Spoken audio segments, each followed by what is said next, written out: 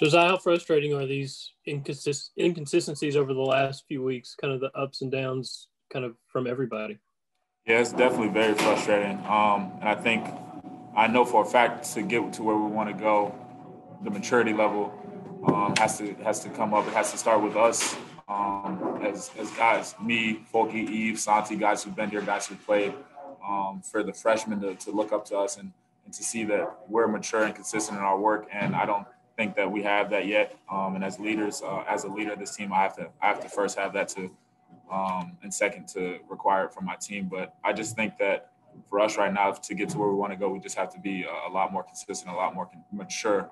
And I mean, we don't really have much more time to keep talking about it. But uh, if we want to, we know what we want to do. We want to win a national championship, and so our maturity level definitely has to raise up to another level.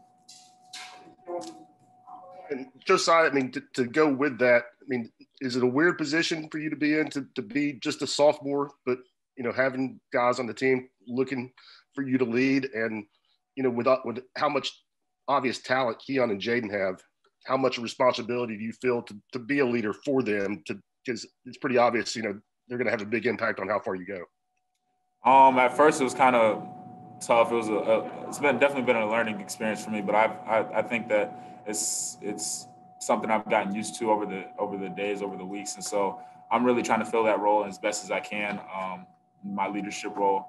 And just for the guys who are younger than me, and for the rest of my team, I just want to be the guy who's consistent and um, there for them when they need it. Because you're gonna have good days, you're gonna have bad days. You're, you're gonna win some games, you're gonna lose some games. But for us to get to where we want to go uh, and win a national championship, we have to have a leader that we can count on, and I want to be that for this team.